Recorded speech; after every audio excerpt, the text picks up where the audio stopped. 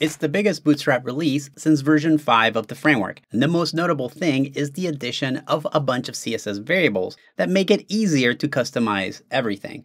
Now, Bootstrap is getting ready to welcome dark mode into the fold, and this beta release prepares you for just that. There's some other goodies in there, so let's break down all the CSS changes with demos of the cool new features in the world's most popular HTML, CSS, and JavaScript library. Let's take a look at how you can use variables in this version of Bootstrap. So here's how you would normally use a variable. You would target an element, and then in that element, you would set up a, say, color, and here you can use a variable. Now, Bootstrap provides a number of existing variables, and you can see them all right here on this page. There's a ton of them. So for example, if we wanted to use the blue variable, we could just use BS blue right here and it would use this color. Let's try that. So two dashes, BS, and then we'll use the blue color here. You can see that it worked just fine. But if you want to, you can override any of these existing variables in the root and of course then use them. So we could say, and this is just how we use variables in the root section, we're going to redefine the way a specific variable works. So we will redefine the way BS primary works. And now notice that since I've used that variable in this headline, it's changing the color of the primary variable in the headline. It's not affecting this button. So you do have to manually override each individual element. So if I wanted to say modify the way that buttons work, I would have to redefine the way that BTN primary works here. And so now the addition is that there are specific variables attached to most of the elements that you can use with any of the components. So now there's a variable called BS, BTN, BG. And in here, you can use BS primary. Now, if you want to, you can redefine other things. Notice that the buttons have this outline around them and they also have a hover state. And so there's a whole bunch of additional variables that you can modify here. So you could say, let's do the uh, BS, BTN, border, color, and we'll redefine that to be a new variable that we'll create called dark purple. So now I have to create that variable here in the root, and we'll give it a darker color. If you want to know which variables are available for each component, you can just do a search in the documentation. And generally at the bottom of the page, you'll see a section for the variables. And here's the ones that are available for the buttons.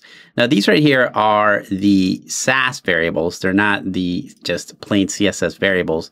Those are a little bit further down here. Now what you see here is also a combination of the regular CSS variables, which you can override pretty easily but then there's also some Sass variables that allow you to make things darker. You won't be able to use this in regular CSS, but you can at least use the name of the variables that are right here. Let's take a look at some of the other features. In Bootstrap, you can easily change the background color of an element by adding a BG and then one of the colors.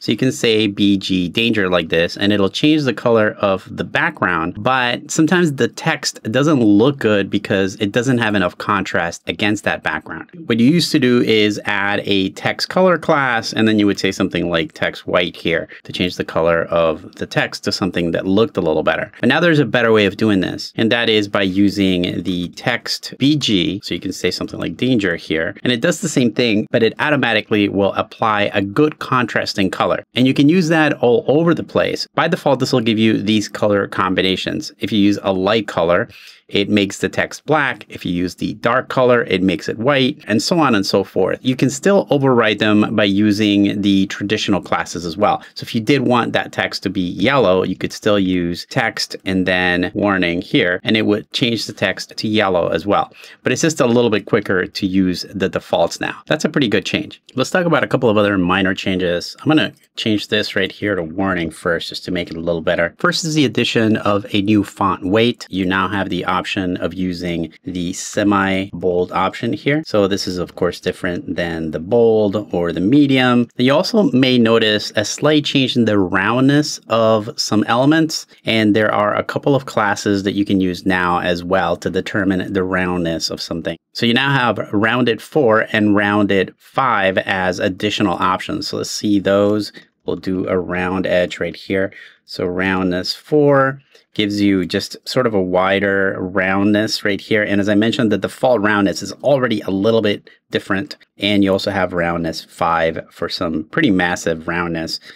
Next up is a small change to the off-canvas component. So if you haven't used this before, what it allows you to do is to create a menu that comes from one side. With this new version, what you can do is control when that button appears so that it's responsive. Right now, by default, this button and the sidebar will appear no matter what size you're in. So this new change, which is pretty minor, allows you to just say something like off-canvas LG, and now the sidebar will appear only in in items that are below the large size. So you'll see that at some point, you'll actually get to see part of the sidebar, which is a little bit weird. And that means that you have to control it by also hiding it manually. So you would say something like DLG none here, and that would hide the component. Now that means that this button doesn't really make any sense whenever you're in the large size. So once I'm here, if I click on it, notice that it makes the background darker, but it doesn't appear, which means that I should also hide this button, DLG none of now that hides the button and also the sidebar. I don't know that this is that particularly useful, but it's another option that you have when working with Bootstrap 5.2. Here's a couple of minor changes to tables. You have the ability to define when a table stripes vertically. So generally when you add the table striped class, the table stripes horizontally. So every other item would be striped. But now you can do that vertically with striped columns. To do that, all you have to do is add a table striped columns class here. And now you can see the color changes on every other column. Now, one thing that you may notice is that before, there used to be thick lines in between the table head or the T head and the T body. That has now been reset so that the lines are always the same. You can put in a thicker divider manually now. So if we go to, let's say, the table hover section here, I'm going to go into the T body and add a class here of table group divider. So now I need to scroll down and you can see the thicker divider right here. There are no color classes or any other utilities yet. There are some utilities in Sass, but for now, this is all you can do with this new class. Let's talk about a couple of changes to Scroll Spy. It's a little bit easier to write because you do not need a position relative container. What Scroll Spy does is it takes a look at what's showing up on the page. And as you scroll, you'll see that different parts of this navigation will highlight. It does that by letting you specify this data spy scroll here, and then also a target that is going to control the scroll. And normally this goes in the body section, but you can put it in other subsections as well. And there's a couple of examples on the website in the documentation. Uh, so you can see here that you can get it to highlight things as they appear. Now, it's using a new technology called Intersection Observer. This is a JavaScript API, and I think it works a little bit differently. So now when I scroll to Dolores, you'll see that it highlights. And when Bubbles appears on screen, it'll also highlight. But when Dolores leaves the screen, it'll unhighlight, which is interesting. I'm not sure I like this a lot better, but you can see Bubbles there started to highlight as soon as it, actually a little bit before it came on screen. So right about there, it noticed, I guess, that it was about to be on screen and then it highlight. There's a couple of other minor changes to this as well. So there's a couple of methods that will let you control how this works and they have changed. There's one called root margin now that allows you to control the offset. Now I tried using this in this beta version of Bootstrap and it wasn't working well for me. It also allows you to control the smooth scrolling when a user clicks on a link. Uh, this is also interesting that all the components now support an experimental data attribute called data BS config that allows you to sort of save a JSON version of the config variables. And look how it's strangely coded. Any attribute would normally have a regular quote. Now this one has a single quote and then you have double quotes inside because this is a JSON formatted element. So you can use allegedly this notation. Again, I tried it and, and I couldn't get it to work. There is some interesting changes that you have to do. So like even though it is camel case right here, when you do specify it in the examples, you'll see that it is written as BS dash root dash margin. And that's interesting. I think it's kind of nice that it is a little bit simpler, uh, but the engine underneath has been modified so that it's using the JavaScript API for intersection observer.